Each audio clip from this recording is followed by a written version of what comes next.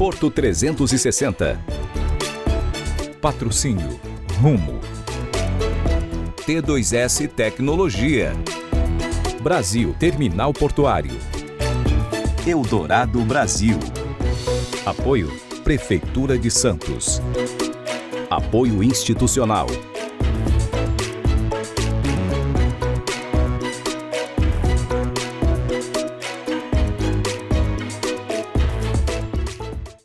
Está no ar por 360, nosso espaço semanal para debater assuntos importantes em relação aos portos internacionais, portos do Brasil e principalmente em relação ao Porto de Santos. Esta semana eu converso com o economista Cláudio Contador. Cláudio, obrigado pela tua presença aqui juntamente conosco para que a gente possa elucidar uma série de questões que vêm aí afetando não só a nossa economia, mas também o nosso setor portuário.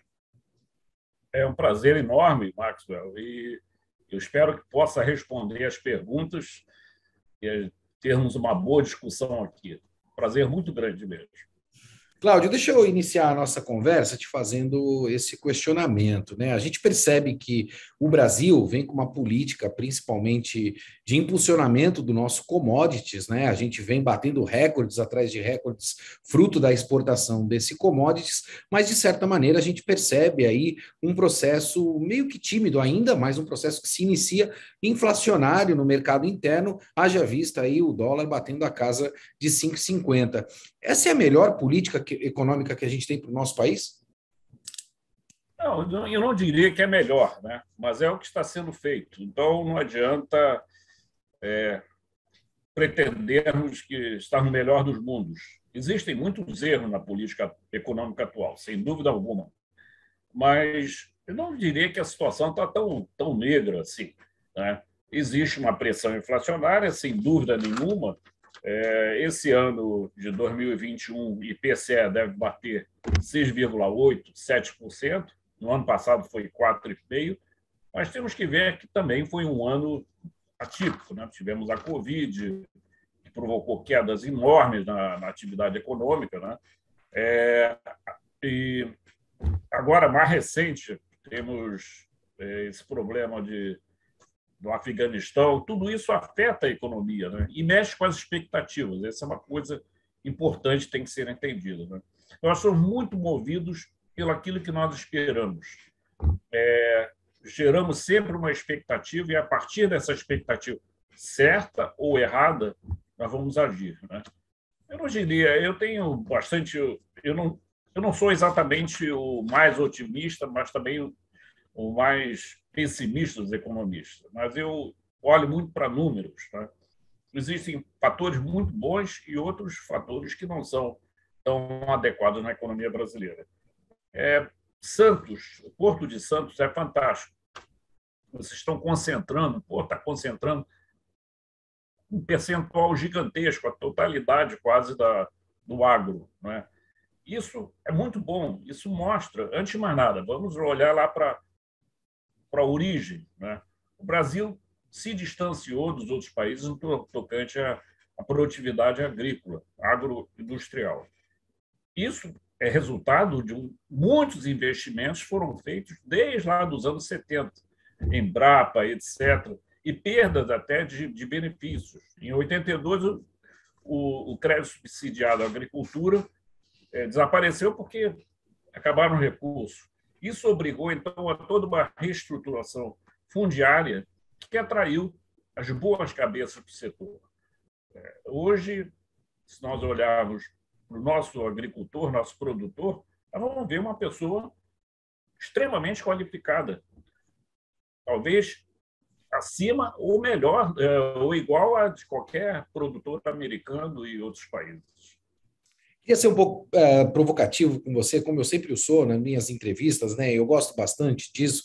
Quando você fala que o mercado ele vive de expectativas, né? A gente está falando também necessariamente da especulação, que a gente sabe que existe, existe bastante, né? O Brasil, uh, pelas escolhas, principalmente que, que vem fazendo hoje, vem buscando investidores para que façam investimentos na nossa parte de infraestrutura e não necessariamente exclusivamente na questão especulativa, como era um tempo atrás. A gente tinha uma outra taxa Selic e assim sucessivamente. É. Você acredita, Cláudio, que nós estamos preparados? A gente está fazendo uma série de leilões aí, né, para que possa haver a, as concessões dentro do setor portuário, em outros locais também, em outros setores, mas a gente não vai concorrer com recurso internacional? Tem tanto investidor assim? A minha primeira pergunta, né? Fruto da instabilidade jurídica que a gente tem no nosso país.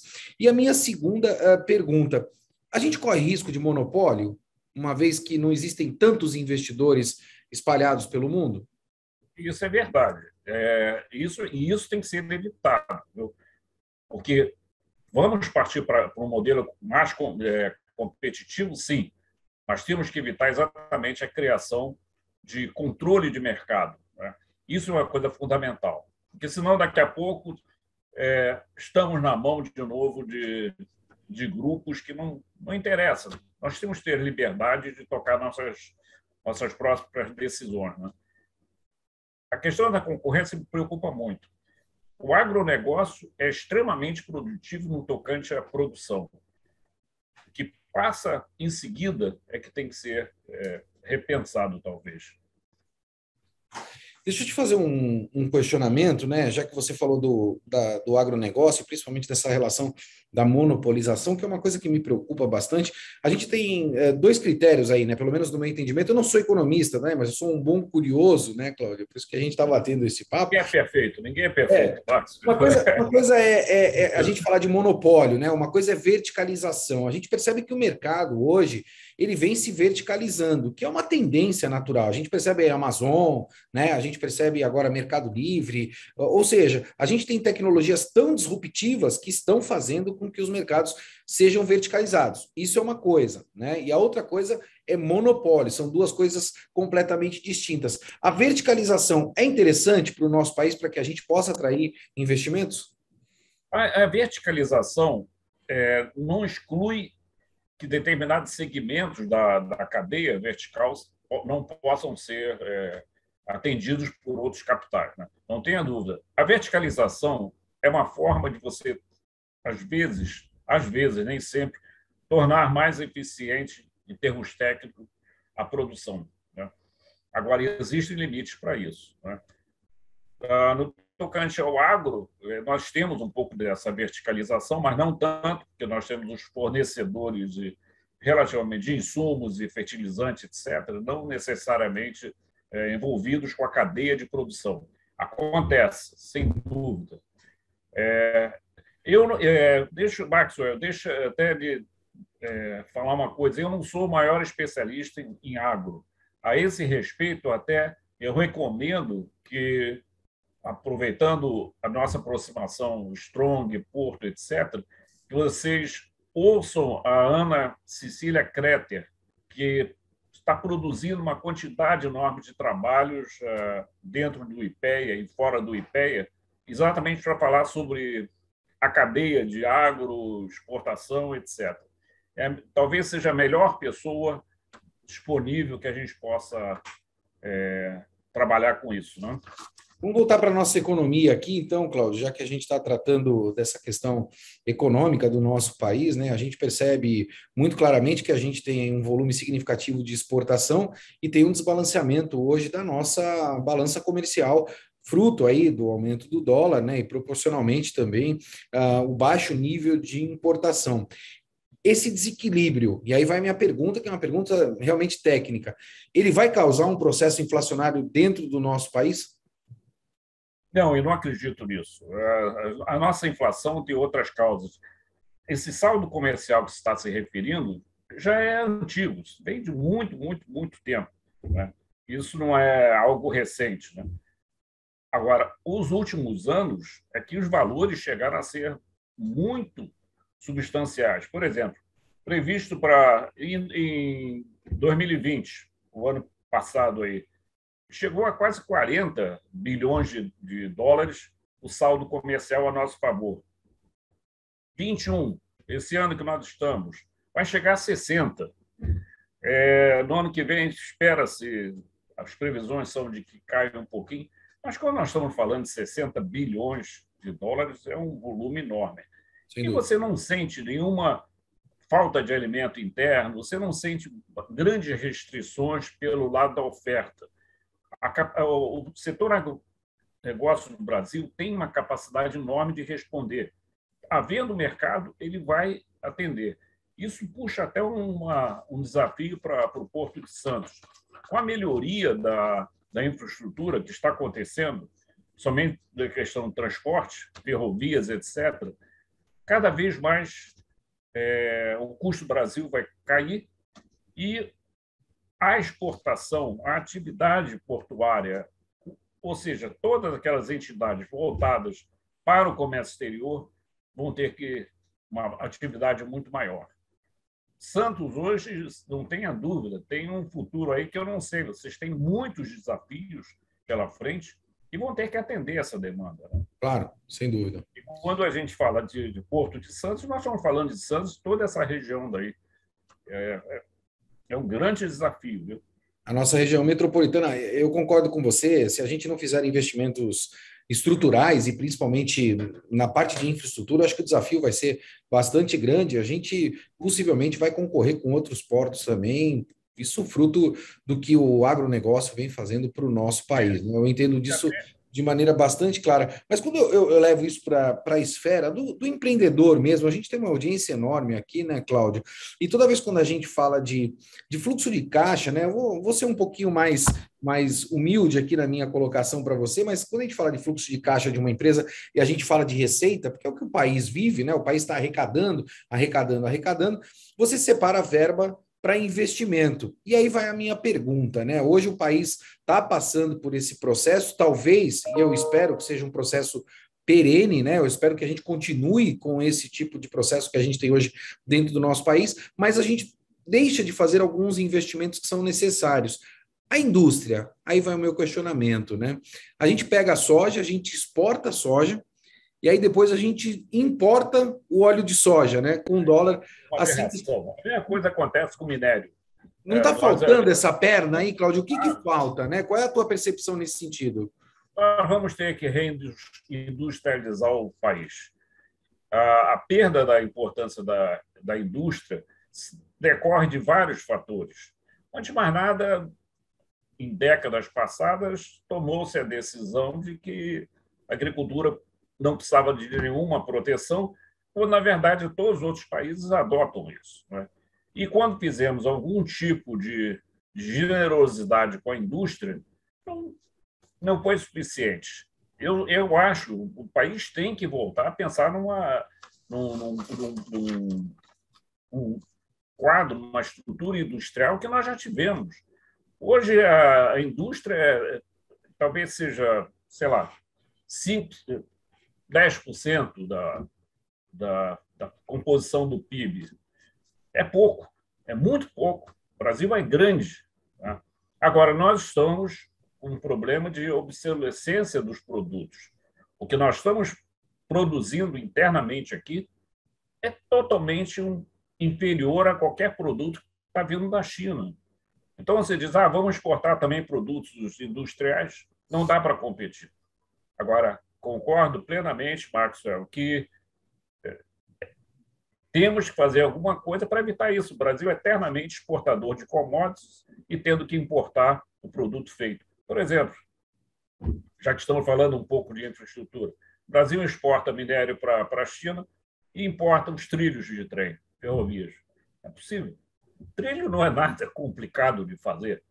Passado fazíamos aí muitos, CSN e outros aí. De repente, o Brasil deixou de. não sabe mais fazer. É, algumas coisas não fazem sentido. Eu Mas economicamente, é, é, essa vai a minha dúvida, né, é, Cláudio? Conversando com você, e eu, eu me pego refletindo aqui, até fugindo um pouquinho da pauta, se você me permitir, mas economicamente, né, falando a título de arrecadação, até propriamente para o país, essa não é uma excelente agenda para que o país possa arrecadar mais e principalmente gerar mais empregos para que possa gerar uma expectativa, eu vou usar a palavra de novo, né? Para que haja mais investimentos e que nossa economia ela possa é, ser mais linear do que a gente ficar fazendo esses Vs que a gente faz rotineiramente no, nos gráficos sem econômicos. Dúvida, sem dúvida. É, e mais ainda, é, temos que eliminar a incerteza. Esse país hoje passa por um processo de incerteza. Quando eu digo hoje, vamos falar dos, dos últimos anos. Né? E investidor não gosta de incerteza, investidor não gosta de risco. Isso ajudava a explicar porque as taxas de juros no Brasil tinham que ser muito altas. Era a única forma de você atrair investidor de fora. Só que ele investia em aplicações financeiras, não no capital. Né? Isso, especulativo. Especulativo. É, no ativo. É, é investimento real. Sim. É muito melhor aplicar no mercado financeiro. Era uma coisa racional. Ele não estava errado, não. É, e só que nós não estávamos sabendo reciclar, através de investidores institucionais, esses recursos estavam entrando e perdia-se no meio do caminho. Ficava efetivamente uma aplicação financeira. Compra de títulos públicos. Né? Esse país se viciou qualquer coisa, vamos comprar títulos públicos. Investidores institucionais, seguradoras e previdência, tudo isso. É, é muito fácil. Compra título público se você está lastreado e não corre risco. Sim. E aí você está mitigando o seu risco, né? Por que, claro. que no nosso país, eu quero te fazer essa pergunta, você como economista, né, usando a experiência que você tem, eu quero te fazer esse questionamento. Por que, que nós temos aqui no Brasil, culturalmente, o péssimo hábito, Cláudio, de demonizar o lucro? Ah, isso, eu acho que é a nossa tradição cristã obscura aí é que levou isso. Em vez de nós enaltecermos né, o lucro como algo quando ele ganha obtido de uma forma honesta, eticamente, etc. Mas isso é feio, sem dúvida. Aliás, ficar rico no Brasil é feio. Sim. Mesmo sendo é, de forma honesta. Aquele, aquela pessoa que trabalha, consegue montar algum patrimônio, surge logo a inveja do vizinho, assim, pô, fulano, onde é que ele conseguiu isso? É, temos que fazer muita mudança, sem dúvida alguma, sem dúvida. O que, que impede essas mudanças, Cláudio, para que a gente possa ter reformas estruturantes no nosso país? A gente falou um pouquinho de passado, falamos de presente, mas eu quero olhar um pouquinho para o futuro, pegar a tua experiência também para a gente poder olhar um pouquinho para o futuro. O que, que, impede essas reformas estruturantes que são tão conhecidas há tantos tempos, né? Você falou aí da década de 80, eu, francamente falando, ouço falar de reformas estruturantes há duas décadas atrás, três décadas atrás, e a gente não consegue fazer essas reformas é, é. dentro do nosso país, principalmente no que tange a reforma trabalhista, que hoje afugenta o investimento do nosso país, e todo Sim. mundo sabe disso, e a reforma tributária também, porque não é só a carga tributária, né? É o mecanismo tributário que o investidor é. internacional muitas vezes não entende. Então, assim, o que, que falta, Cláudia, na tua perspectiva? Olha, eu acho que falta vontade. E aí, quando eu falo vontade política, não é apenas da, da, do executivo, mas nós temos que olhar também o que está se passando no Congresso. Né? Somos todos, nós temos que parar comprar a ideia que nós temos que ser sócios do futuro. O futuro está aí. Nós pretendemos estar no futuro. Então, vamos montar um bom futuro para nós. É, quando você diz que há tanto tempo se fala na reformas, é verdade. Sabe? Eu, a minha vida de economista sempre ouvi falar nas reformas. Eu fico ah, cansado de quando alguém, alguém do governo ou fora do governo, alguma instituição, alguma federação diz assim, nós vamos fazer um diagnóstico da situação desse problema. Eu fico horrorizado. É, vamos parar com o diagnóstico. É aquele médico que fica olhando e diz assim, olha, vamos fazer um diagnóstico. E o doente está morrendo. E fazemos outro diagnóstico. Vamos fazer mais um teste. Olha, está pior do que antes. Claro, não foi feito nada. Né? Reforma tributária tem que parar com esse cipual de impostos. Está muito fácil. Está precisando de recurso? Aumenta o imposto. Chega, chega. Isso é custo Brasil. Isso afugenta muito investimento aqui. A, outra, a reforma política que tem que ser feita, mas está fora da nossa alçada até de discussão.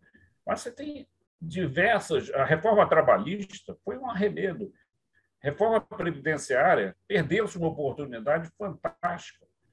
O que devia ter sido feito é usar fundos previdenciários e não o arremedo que nós fizemos. Dá para corrigir isso aí. Mas nós vamos voltar a mergulhar de novo, vamos fazer um novo diagnóstico da situação. Lamentavelmente, é, é quase de uma forma irônica. Os velhos no Brasil pararam de morrer. Aqui está um exemplo. A gente não morre mais. E pior é que fica importunando, fica dando entrevista, fica trabalhando. E, mas o fato é o seguinte: a carga da Previdência não adianta. E o número de, de jovens, a base da nossa pirâmide etária, está ficando invertida. E outros países jogaram até a toalha, dizendo que não dá para ter previdência social ou qualquer previdência. Eu trabalho, trabalhei muito e continuo trabalhando ainda com modelos atuariais de previdência, etc. Hoje nós já temos boas tábuas de sobrevivência no Brasil. Sobrevivência não é tábua de é, mortalidade, é a partir de uma certa idade, quantos anos espera-se que essa pessoa ainda viva, né, esteja sobrevivendo. Essa que é importante para a Previdência. Bem, montamos muitas tábuas, trabalho louco com os dados do IBGE. Passados dois, três anos, descobria-se que já estava ultrapassado. Tinha que refazer essa tabela. Isso complica muito a Previdência, mas tem que ser feito. Cláudio, deixa eu olhar um pouquinho para o futuro, né? Eu te ouço falando e eu fico muito preocupado com essa nova geração que está chegando, né? Até propriamente porque a nossa geração, né? Eu estou me, incluindo na, na, na, tua geração aí também, não conseguiu uh, avançar em muitos pontos, né? E a gente percebe que hoje a gente vem com um mundo disruptivo muito grande, né? E que afeta a economia, né? Uma vez que a gente tem esse mundo tão disruptivo. Como é que você está olhando pós-pandemia, né? Agora que a gente está, de uma forma ou de outra, se a gente não tiver uma nova onda aí pela frente, né, do Covid-19, uh, ah, o Brasil, economicamente falando, aí para 22 e para os próximos cinco anos, com tanta tecnologia disruptiva no mundo e com esse atraso burocrático que a gente ainda tem. Será que a gente corre o risco de voltar para aquele mundo especulativo que a gente vivia lá atrás? É uma possibilidade. Eu diria que é um, uma, um cenário de pesadelo, né? retornar. Não adianta, as mudanças já estão aí, vieram para ficar, vamos caminhar juntos. Né? É, pode ser. Um, um, mudou a nossa vida, não tenha dúvida. Hoje nós estamos, a minha empresa trabalha de uma forma remota. Né? Eu, eu tenho salas, etc. Eu tenho um local, espaço, mas nós estamos praticamente trabalhando em home office. Se alguém me perguntasse em 2019, 2018, está preparado para trabalhar em casa? Não. É uma loucura. é uma loucura. Eu aqui no, no meu escritório, esse é o escritório da minha casa, eu tenho tudo. Não tenho tudo que eu tenho lá no escritório. Estou louco para ir lá para começar a pegar. Minha mulher não vai gostar muito que eu vou encher de bugiganga aqui. Mas é, esse é um mundo novo mesmo. Né? Isso é muito bom. Olha, se não tivéssemos tido essas inovações, ah, os efeitos da pandemia seriam seríssimos. Muito e mais a pandemia ajudou, é, ajudou até a acelerar esse processo. Né? O que aconteceu de mudanças é enorme. Né? Infelizmente, a gente está chegando ao final do nosso programa, mas eu preciso te perguntar: no exercício de futurologia, adoro isso, Cláudio, fazer esse exercício de futurologia. PIB para esse ano e a perspectiva do PIB para o ano que vem, na tua percepção? Esse ano, é só voltar um pouco para o 2020. No ano passado, o PIB caiu 4,1% por aí, por cento. Esse ano vai crescer 5%, ainda muito como resultado de uma base baixa, mas é bom. Uma série de países não estão nem conseguindo isso. E do ano que vem, as previsões que nós temos devem bater em torno de 2,5%. A indústria, que tinha ficado praticamente estabilizada em 2020, vai crescer 6% ou mais esse ano, e uns dois e tantos para 22. 20, o ano de 22 é muito complicado ainda fazer qualquer tipo de análise prospectiva, porque é o ano de eleição, nós não sabemos se teremos nova variante, como é que vai novas campanhas de vacinação, o que, que vai acontecer no mercado internacional com essas confusões do Afeganistão. É, mas eu não diria, em nenhum, em nenhum dos, das variáveis que nós estamos falando, está se prevendo qualquer tipo de queda. Os mais pessimistas podem dizer, não, não vai, o produto esse ano não cresce 5%, vai crescer 4,5%. Ok, tudo bem, estamos sujeitos a, a erro. Né? Ah, o IPCA, que era é uma, era uma preocupação, 4,5% no ano passado, já sinalizando que estaríamos numa rota de aceleração, deve bater 6,8%, 7%. E no ano que vem volta de novo a cair para 4%, 4,5%. Veja, nós estamos falando de um dígito. É, esse país já teve uma inflação de 80% no mês. Sim, sem dúvida. É uma situação totalmente diferente. Se nós olharmos pelo lado cambial, balanço de pagamentos, eu, a minha geração de economistas viveu o tempo todinho falando em crise cambial. Hoje nós não temos esse problema, temos 360 bilhões de reservas. Esse país já andou sem reserva nenhuma. É... Até porque, Cláudio, venhamos e convenhamos, eu sempre defendo isso, apesar de não ser economista. É né? um país que tem um PIB de um trilhão, né? É claro. só planejar bem, estruturar bem, tem a gente consegue desenvolver tem uma, um país. Uma sociedade fantástica, sabe? Vamos deixar as pessoas trabalharem. Nós, nós temos os chamados ativos, né? os ativos naturais, que é clima, solo, água, mudança de água. Enfim, tem tudo. A culpa é nossa. Né? E eu, eu te digo uma coisa: a nossa geração errou. A minha é muito mais do que a sua. É verdade. Você foi um pouco caudatário da minha. Eu falo é, que minha, eu escrevi isso até no meu livro, né? Se você me permitir. A minha geração passou por dois processos de impeachment e uma pandemia, né? Então você imagina é, é. o, o quão difícil foi uh, o impacto não só político, mas social e econômico também. É, eu quando comecei a trabalhar, é, o Brasil tinha um problema enorme de oferta de alimentos. Nós importávamos alguns alimentos, né? Nós não tínhamos energia, tinha que importar petróleo quando teve a primeira crise petróleo em 73, foi um Deus nos acuda. Eu estava no exterior e o Brasil tinha quebrado. Sim. Era, não, nós não tínhamos energia, não tínhamos alimento, não tínhamos nada. Cláudio, essas crises. Papo muito bom. Eu quero te convidar para estar outras vezes aqui no, no Porto 360, porque eu acho que isso é muito importante. E eu não posso terminar essa entrevista sem te fazer essa pergunta, né? Conta aqui só para nós. O dólar 2022 fica batendo a casa de 5,50 ou a gente ainda vai voltar a um dólar num patamar aí na casa Eu acho que vai cair, viu? Abaixo de 5, eu acho difícil. Eu diria que vai ficar nos 5,2 por aí, viu? E no ano de 22, talvez ele tenha uma subida, porque nós temos as pressões inflacionárias que vão acabar é, batendo no dólar. Né? O governo finalmente é, entendeu que a, taxa de juros que nós tínhamos, 2%, era inviável. Nós estávamos com taxas de juros reais negativos. Então, está subindo aí lentamente, mas pelo menos a política de, de juros está sendo mais ativa. Eu não Sim. sei até onde é, deveria subir, né? mas eu acho que se a gente botar organizar bagunça, sabe? Senta na casa e diz assim, olha, muda esse móvel para aqui, esse para ali. Não estamos fazendo nenhuma mudança séria, mas simplesmente reorganizando o nosso espaço. E eu, olha, eu sou fã do, do Porto. Eu acho que vocês estão fazendo um trabalho excelente. Né? A, a Strong, pelo fato de estar em Santos também, tem uma longa é, convivência com vocês. É, eu fico muito entusiasmado né, com essa aproximação do que está acontecendo. E é uma grande cidade também, é uma grande região. E vocês têm oportunidades aí, já que falamos de. Se me permitir, Maxwell. Claro, é, por favor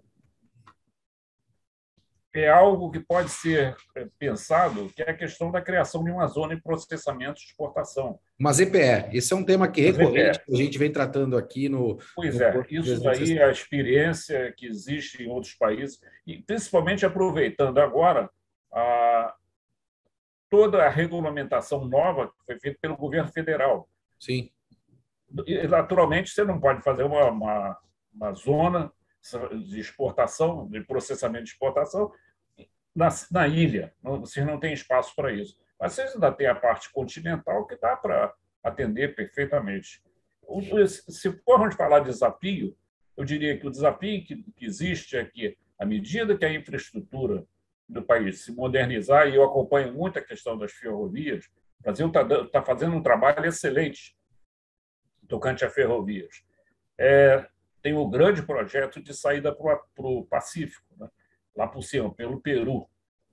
Esse daí seria um, projeto espetacular que vai ajudar a reorganizar os fluxos aqui dentro.